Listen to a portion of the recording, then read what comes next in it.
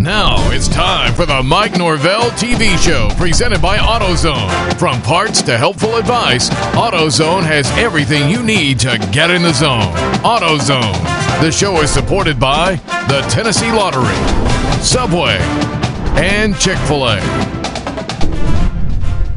Welcome in, everyone. Nice to have you aboard. Well, there were some nervous moments last night in the Liberty Bowl. The Tigers outslug South Alabama. They win the game. They are three and one. And after the game, even with all those nervous moments, you said this is something your team needed. Yeah, you know, it was a, it was a great game. It was back and forth. Uh, you know, going in at halftime, tied up 21, uh, you know, 21-21. It was a great opportunity for our guys to, to respond, to play 60 minutes. Uh, you know, South Alabama, you got to give them a lot of credit. They executed well. They, they played tough. They played physical. Uh, really, the game played out kind of how I expected it to. I knew it was going to be back and forth. Um, you know, it was a, it was a wonderful job. You know, wonderful by, job by our guys guys coming out in the second half, making some adjustments, and uh, you'll find a way to win the game. You know, your, your offense did put up a whole bunch of points, 52. I thought there were a couple of defensive plays on a night where the defense wasn't maybe as sharp as I know you would like, but I can think of a play where you stop a guy at the one when he was going to go in and you get the ball back after that, and then a huge fourth down stand, and Joseph Dorceus makes some incredible plays. That was where the heart came from, I uh, thought. No question. And I mean, it was not, you know, it was probably probably uh, you, know, our worst game that we've played defensively up until this point in the season. But in a sense, you know, the big plays and critical moments they showed up. We got a couple takeaways, which I was really proud of. You, like you mentioned, the fourth down stop was huge, a big momentum swing, and and the, the, we played off of each other. It was a, it was a really nice, uh,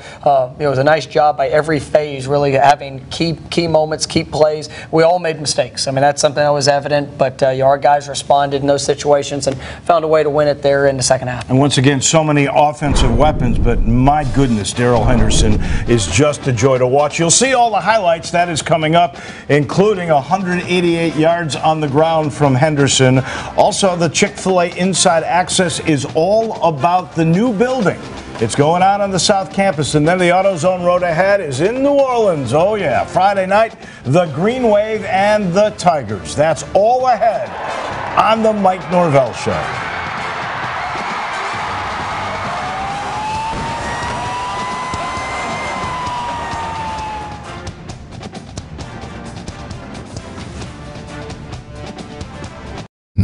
It's time for the Mike Norvell TV show presented by AutoZone. From parts to helpful advice, AutoZone has everything you need to get in the zone. AutoZone. The show is supported by the Tennessee Lottery, Subway, and Chick fil A. Welcome in, everyone. Nice to have you aboard. Well, there were some nervous moments last night in the Liberty Bowl. The Tigers outslug South Alabama. They win the game. They are three and won. And after the game, even with all those nervous moments, you said this is something your team needed. Yeah, you know, it was a, it was a great game. It was back and forth. Uh, you know, going in at halftime, tied up 21, uh, you know, 21-21. It was a great opportunity for our guys to, to respond, to play 60 minutes.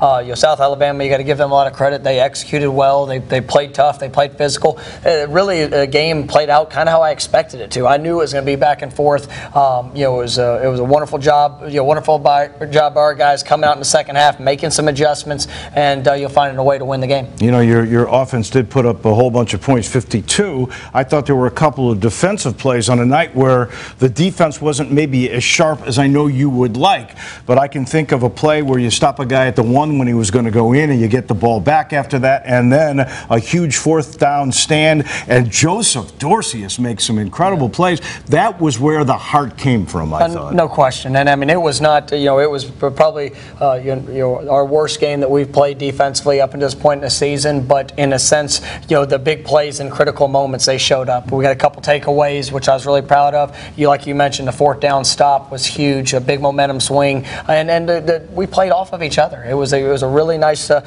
uh, it was a nice job by every phase, really having key key moments, key plays. We all made mistakes. I mean, that's something that was evident, but uh, you know, our guys responded in those situations and found a way to win it there in the second half. And once again, so many offensive weapons, but my goodness, Darrell Henderson is just a joy to watch. You'll see all the highlights that is coming up, including 188 yards on the ground from Henderson.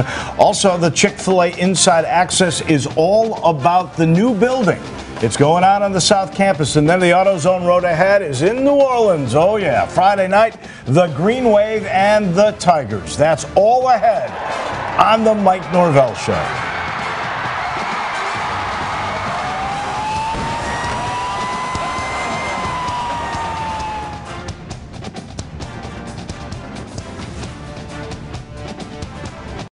Watching the Mike Norvell TV show.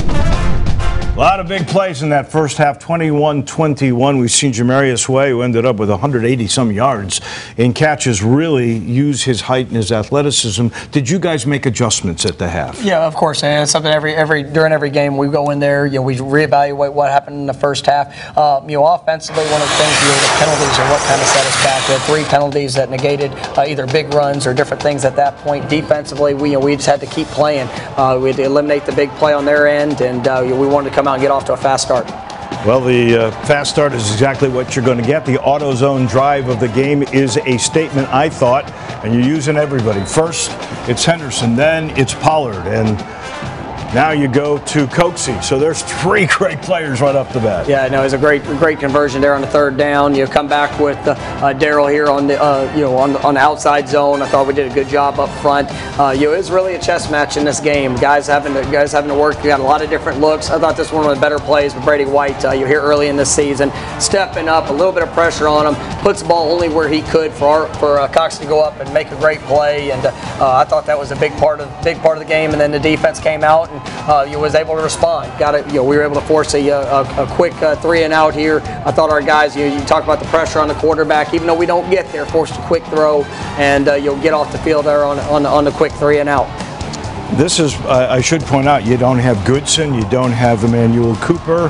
Uh, Swamp Donkey went out for a little bit. Really, your starting defensive front was out for much of this game. It, it was, and you know, it gave a new opportunity for other guys to step up. You know, big play there, Joey Magnifico uh, with the big catch and run. You know, once again, we get down there. Uh, you know, Coxie with a nice, nice catch. Come up a little bit short on the on the third down, uh, but Riley Riley Patterson did a great job of, uh, of responding, coming out, banging in. The, I think it was a 42-yard field goal, which was great to see, and you know, got a, got a 10-point lead. Just when you think you can breathe a little easier, there's Jamarius Way again, and he's just a terrific player. I think he's got a chance to play uh, in the next level. And there's Kawaan Baker, who's also a very good weapon from them. And now it's a four-point game because of that. Another block. That's three blocks in two games. Yeah, really proud of our guys. You know, the response there on the extra point. Uh, you, know, uh, you know, Big John Wilson got in there and was able to get his get his hand up. Uh, you know, so we go back to work, got a little play action. Uh, you know, they were really doing a good job of stacking the box. And uh, you know, I thought, uh, um, you know, for us in, in this sequence, you know, we're continuing to try to work to take what they give us. Um, but they did a, they did a nice job. You know, here we were you know, looking to be aggressive. It, a couple couple looks there throughout the game. we thought we had the fake. obviously, they they did a great great job in, in their execution. Um, you know, gave us a short field, but I thought this was one of the keys of the game. Uh, defense gets down, big stop there, great hit by J.J. Russell, uh, knocking them back. You know, Tito Windham showed up there, and then the fourth down play. Uh, look at JoJo, JoJo Dorceus just getting in there. Uh, you know, Curtis Akins. You know, great, great effort. A big fourth down stop. That is called standing them up. That was a good scholarship you gave away to Joseph Dorceus. And here we come. There's Coxie again, and what a game for Coxie. 113 yards on eight catches and a touchdown. Yeah, that was that was a big play there. Uh, you know, obviously being able to get out from our from our uh, uh, end zone. Uh, you know, Pop Williams, another big play. That was a second and long there. Uh, we'd had a penalty, but uh, I thought we did a great job. And then coming back with the reverse to Tony Pollard, great blocking out in front. You, see Coxie, you see Dylan Parham, even Brady White getting in the action. Uh, big touchdown. And I got to give you credit. That's a beautiful call. They're going wherever Henderson goes. That was the direction those linebackers were going. You trick them with that, and there's the touchdown. And there he is again.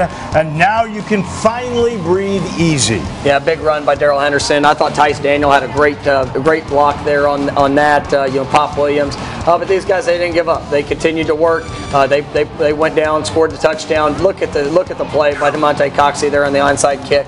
Uh, we'd worked that quite a bit this week. Uh, you know, it was a phenomenal kick by their on their end. Uh, but then to finish it up, Patrick Taylor with a great tough run, dragging three guys into mm. the end zone.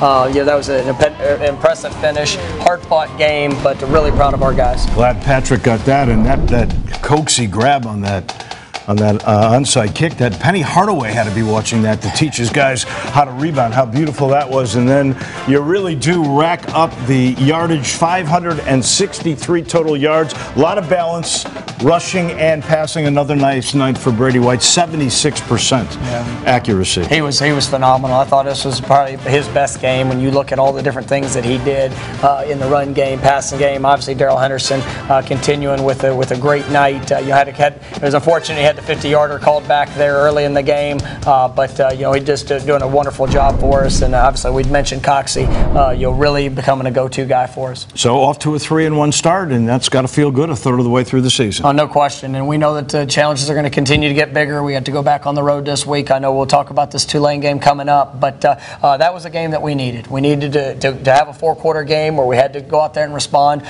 respond in the right way of, of being able to finish it, and our guys did that. Before that AutoZone Road Ahead, though, good stuff. Inside Access brought to you by Chick-fil-A. It's all about building. I know you've been waiting for this one for a long time. We'll talk with the players about the new facilities. That's next on the Mike Norvell Show.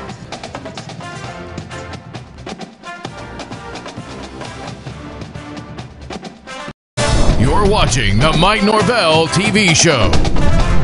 Cranes on the campus are a good thing. Progress, like the new Liberty Bowl locker rooms, players love that, and they love what's going on on the South Campus. It's nice to see us growing, you know, all the talk about the indoor and the new locker room and new training room. I love it. You know, it's always nice to see us grow. But at the same time, I've always kind of had a respect for you know, the old grind feeling that Memphis has had, you know, kind of gritty, grit grind. It just shows, you know, the, the program is on the rise and, you know, all the hard work we put in is paying off now.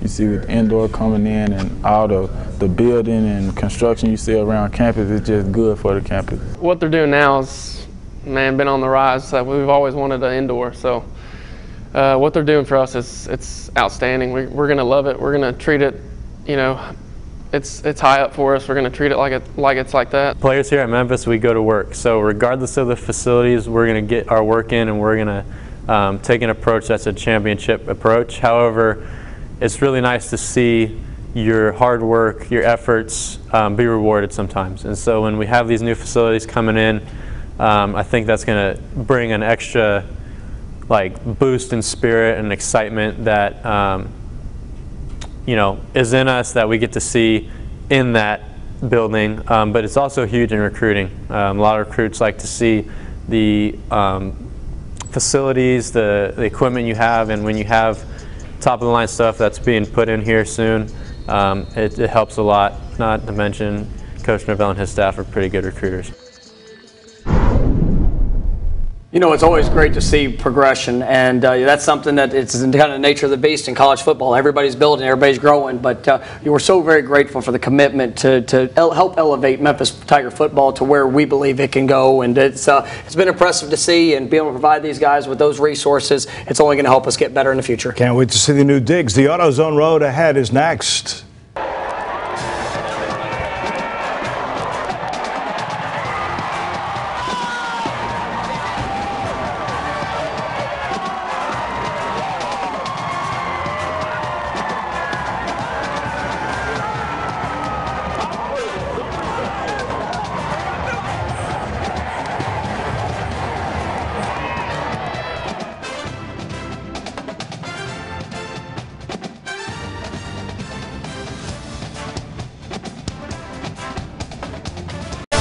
Watching the Mike Norvell TV show. Time for the AutoZone Road Ahead. Always one of my favorite trips. We go down to New Orleans to take on Tulane. One and three, a win over Nicholls coach, and a tough game last uh, night against Ohio State. But that's one of the better teams in the country. Yeah, you know, uh, this week is uh, another short week, and so we've got to do a great job in our preparation. Uh, going back on the road in conference play, it's it's always going to be a challenge, always going to be a battle. Uh, you, know, you know, Tulane does a lot of things offensively, schematically that can present some some some issues for you. You know, they've got a couple really really good receivers. Uh, you know, the, the, quarterback is a little bit more experienced this year, um, and then you know, obviously defensively, they've, they've got a great tradition of uh, being able to play at a high level. And so uh, this is another well-coached team that we're playing. I've got a tremendous amount of respect for Coach Fritz and the job he does. So uh, we got to get our, we got to get our minds right and uh, have a great week of prep. And, and offensively, aren't they similar somewhat to the way South Alabama presents itself? They are. They're multiple in what they do, but they do do present some triple option. You know, a lot of the high motions, things that you have to make sure your assignment sound, and uh, you know, got to be able to play uh, uh, you know, a variety of different looks to it. Uh, health wise, you gave us some pretty good news on Jackson Dillon. I, I don't know if he's going to come back right away. What about Goodson? What about Leandre Thomas? Yeah, still early in the week. We're going to have to see how these guys respond. Uh, you know, uh, after the game, you know, there's some guys that are bumped and bumps and bruises. Anytime you get you know, in four weeks into the season, you're going to see that. But hopefully, we'll get Emmanuel Cooper back this week. You know, hopefully, Sam Kraft, some guys that have yeah. been out. Uh, you mentioned uh, Dre. Hopefully, if he can get, uh, come back and be able to go, that provides more depth. But you know, our kids, we're going we're going to have a great week. I know they're excited about being back in conference play, and uh, we'll be ready to roll. All right, Coach. Thank you very much. We'll see you in New Orleans on Friday. We'll see you right back here next Sunday night. Have a great week, everybody. Thanks for watching the Mike Norvell TV show presented by AutoZone. From parts to helpful advice, AutoZone has everything you need to get in the zone. AutoZone. The show is supported by the Tennessee Lottery, Subway, and Chick fil A.